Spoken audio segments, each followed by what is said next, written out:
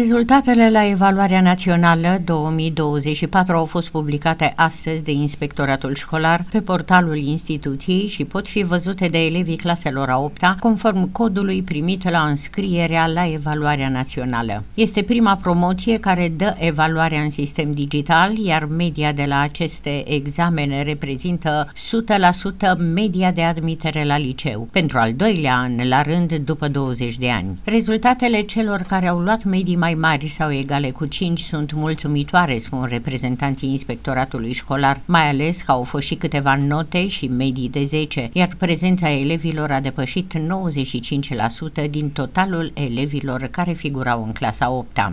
Avem vești bune. Am avut în județul nostru înscriși 2736 de absolvenți de clasa 8 -a. Prezența a fost 2600, deci iată am avut un procent uh, în ce privește rata de participare de 95,02% și nu am avut niciun elev eliminat din examen. Dintre cei 2600 de elevi prezenți, am uh, au, avut un număr de 1908 care au obținut medii mai mari sau egale cu 5, ceea ce înseamnă un procent de 73,38%. Dacă ne uităm pe discipline, la limba și literatura română, avem uh, un procent al notelor mai mari sau egale cu 5 de 78,35%. Mai exact, 2042 de elevi au obținut note mai mari sau egale decât 5 și trebuie să precizez faptul că avem și 7 elevi care au obținut uh, nota 10 la limba română.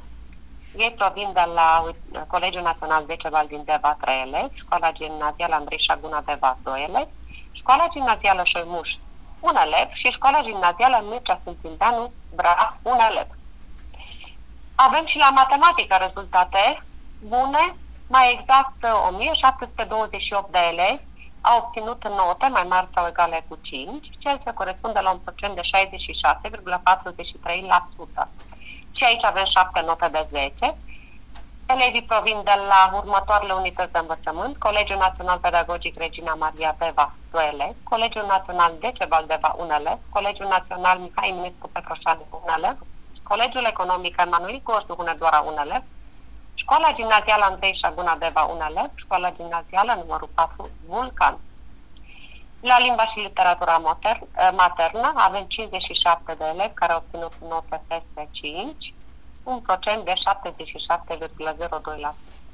Precizez că avem doi absolvenți de gimnaziu care au încheiat examenul de evaluare națională cu media 10.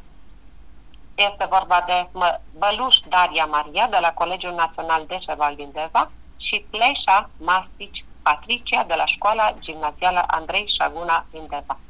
Le felicităm, uh, suntem bucuroși că avem și în acest an, iată, elevi notați cu notele, ma, nota maximă și, bineînțeles, adresăm felicitări și profesorilor și părinților. După depunerea și rezolvarea posibilelor contestații, elevii claselor a 8 vor completa opțiunile în fișele de înscriere la liceu, în prezența părintelui și a dirigintelui, în perioada 11-12 și 15-22 iulie, potrivit calendarului admiterii la liceu 2024.